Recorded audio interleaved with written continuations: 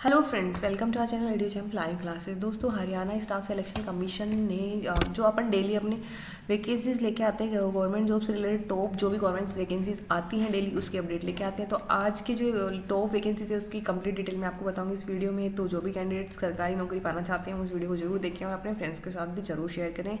Video जो हम live classes आपके लिए हमेशा अपडेट लाते रहते हैं। गवर्नमेंट जॉब से रिलेटेड सरकारी, नौकरी और एग्ज़ाम से रिलेटेड सब इन्फॉर्मेशन उसके साथ हम टिप्स भी हैं और अपनी क्लासेस जो चलती है, वो तो चली रही है, जो कि आप ज़रूर फॉलो करें ताकि आपके एग्ज़ाम में आप अच्छा स्कोर कर सकें। ठीक है? तो अभी जो वैकेंसी आई, उसकी पूरी डिटेल अपन जानेंगे कि किस तरह का एप्लीकेशन इसका स्टार्ट हो रहा है, कौन इसके लिए अप्लाई कर सकता है। तो फ़र्स्ट जो अपना रिक्रूटमेंट है, वो है हरियाणा स्टाफ सिलेक्शन कमीशन की तरफ़ से जो वैकेंसी आई है उसके लिए। तो इसका जो इसका जो एप्लीकेशन आपका पाँच जनवरी से स्टार्ट हो गया है और इसकी जो वैकेंसीज हैं, वो है टर्नर इंस्ट्रक्टर की। तो जो जो भी कैंडिडेट्स हैं अप्लाई करना चाहते हैं, इसमें वो अप्लाई कर सकते हैं। इसकी एलिजिबिलिटी क्राइटेरिया मैं आपको बता देती हूँ।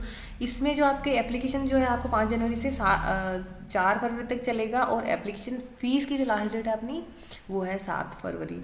सिक्सटी वन पोस्ट जो है आपकी वो टर्नर इंस्ट्रक्टर की है, जो कि कैटेगरी वाइज अलग अलग है मतलब जनरल की जैसे ट्वेंटी वन है तो ये आप ऑफिशियल नोटिफिकेशन में देख सकते हैं। और फ़िज़िकल हैंडीकैप की वन है, और ओएच की फ़िज़िकल हैंडीकैप की वन कैट इसमें जो है वैकेंसी उसमें आप किस मतलब कि कौन कौन अप्लाई कर सकता है? आपकी होनी चाहिए bachelor degree in engineering technology और its equivalent in mechanical production industrial from A I C T recognise institute और यूनिवर्सिटी तो जिसने भी अगर रिलेवेंट फ़ील्ड में इंजीनियरिंग और बी टेक या बी ई कर रखा है और इक्विवेलेंट मतलब कोई, जैसे कि ग्रेजुएशन इन ग्रेजुएशन जो लोग कहते हैं, वो इंजीनियरिंग से रिलेटेड जो कि करते हैं ना सिविल में किसी के ग्रेजुएशन केमिस्ट्री में किसी की ग्रेजुएशन होती है तो इस तरह से अगर उन्होंने कुछ कर रहा है डिप्लोमा भी कर रखा है टेक्निकल फ़ील्ड में तो वो भी इसके लिए अप्लाई कर सकते हैं। सेकेंड जो इसकी रिक्वायरमेंट है वो हिंदी और Sanskrit up to matric standard और हायर एजुकेशन तो टेंथ ट्वेल्थ तक आपके जो है एक सब्जेक्ट होना चाहिए, हिंदी और संस्कृत टेंथ तक, ठीक है?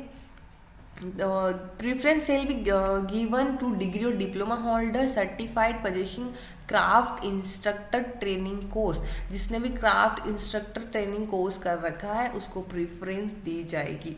एक्सपीरियंस जिसको, किस किस को दिया जाएगा, ये भी अपन और भी है इसमें। Experience should be in the concern trade field and in industrial establishment अगर किसी इसी रिलेटेड फ़ील्ड में आपको कोई एक्सपीरियंस है और या फिर कोई एक्स सर्विस मैन है जो कि क्राफ्ट इंस्ट्रक्टर ट्रेनिंग कोर्स कर रखा है तो उनको अलग से प्रेफरेंस दी जाएगी। ठीक है, इसमें जो आपकी एज लिमिट है वो seventeen to forty two years है। पे स्केल आपका रहने वाला है वो thirty five thousand four hundred to one lakh twelve thousand four hundred rupees तक रहेगा। इसका पे स्केल जो भी है इसमें जो आपकी नाइन्टी फाइव पोस्ट है, वो फिटर इंस्ट्रक्टर की है, जो जिसके लिए भी अब इसमें कैटेगरी वाइज क्लासीफाइड किया गया है, इसमें भी सेम वही है। इसमें इंजीनियरिंग कर इंजीनियरिंग कर रखी है रिलेवेंट फ़ील्ड में आप मतलब कि अगर डिप्लोमा डिग्री कर रखा है इन इंजीनियरिंग और technology with preference will be given to the degree holder holder candidates posing craft instructor training course in relevant trade दो जिसने भी अगर इससे रिलेटेड ट्रेड में अगर किसी ने ग्रेजुएशन डिग्री और डिप्लोमा कुछ भी कर रखा है, उसको एक्सपीरियंस है तो उसके लिए अलग से इसमें जो है प्रेफरेंस दी जाएगी। सिक्सटी सिक्स पोस्ट आपकी वेल्डर की है, वेल्डर एंड इंस्ट्रक्टर की। तो इसमें भी इस प्रेफरेंस मतलब कि जिस भी आप किसी भी पोस्ट के लिए अप्लाई कर रहे हैं तो आपकी रिलेवेंट फ़ील्ड में अगर आपने कर रखा है, उसी फ़ील्ड में कर रखा है, आपने ग्रेजुएशन या डिग्री जो भी डिप्लोमा तो उसको अलग से प्रेफरेंस दी जाएगी, ठीक है? और सबका सेम क्राइटेरिया, एज लिमिट वगैरह सब कुछ सेम है, पे स्किल सबका सेम है, सिक्सटी सेवनटीन पोस्ट आपकी क्राफ्ट इंस्ट्रक्टर स्टेनोग्राफी की है, हिंदी में, ठीक है? तो फुल इसके लिए क्वालिफिकेशन क्या है? Full time regular mode bachelor degree with minimum sixty percent in Hindi subject तो मतलब कि कितने हिंदी, अब इसके लिए craft instructor stenography in Hindi तो इसमें हिंदी ही मांगी जाएगी। अगर आपने ग्रेजुएशन डिग्री सिक्सटी मार्क्स इसमें मिनिमम आप, इसमें मांगे ओ लेवल सर्टिफिकेट आपके पास है तो वो होना चाहिए शॉर्ट एंड स्पीड जो आपकी वो एट्टी वर्ड्स पर मिनट होनी चाहिए। और fifteen words per minute transaction theory of and thirty word per minute in typing in Hindi तो ये आपकी अलग से क्वालिफिकेशन दे रखी है इन्होंने। Diploma in office management and computer application में आपने डिप्लोमा कर रखा है तो आपके मतलब कि तो भी आप अप्लाई कर सकते हैं। इसमें सेम आपकी एज लिमिट है। और पे स्किल सेम है। ट्वेंटी पोस्ट आपकी craft instructor stenography English English वालों को इंग्लिश सब्जेक्ट में आपका ग्रेजुएशन होना चाहिए और वही टाइपिंग टाइपिंग स्पीड वगैरह सब कुछ होनी चाहिए तो वो अप्लाई कर सकते हैं। तो लास्ट डेट इसकी जो है एप्लीकेशन फ़ीस की एप्लीकेशन की जो लास्ट डेट है वो चार फरवरी और एप्लीकेशन फ़ीस की सात फरवरी तो आप जल्द से जल्द इसके लिए अप्लाई करें। सेकेंड वन अपन बात करेंगे झारखंड एक्साइज कांस्टेबल की, जिसके लिए एप्लीकेशन आपके स्टार्ट हो चुके हैं, उसकी भी डिटेल इसकी लास्ट डेट नौ फरवरी है इसमें जो आपकी पाँच सौ अठारह वैकेंसीज है तो अगर जो भी कैंडिडेट्स अप्लाई करना चाहते हैं वो भी इसके लिए जल्द से जल्द अप्लाई कर दे इसकी लास्ट डेट आपकी नौ फरवरी है ठीक है? इसमें जो आपकी एलिजिबिलिटी क्राइटेरिया है वो इसमें फिजि, फ़िज़िकल क्राइटेरिया भी इसमें मांगा है क्योंकि ये सिपाही की वैकेंसी है तो इसमें अलग से अलग से इसका शारीरिक योग्यता और ये इसका अलग से वो होगा।